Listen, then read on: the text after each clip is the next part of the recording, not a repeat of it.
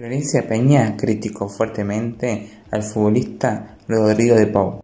Bienvenidos a Chusmeteando con Riquitum.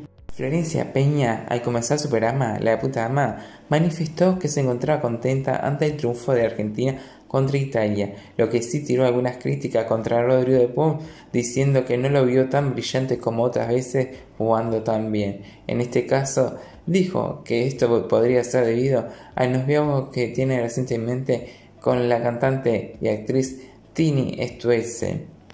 La crítica que también tiró Florencia Peña contra Rodrigo fue que cuando terminó el partido, en la rueda de prensa estuvo mandando saludos y dijo que le mandaba saludos a su familia, a sus queridos, especialmente también a su abuela y a su novia.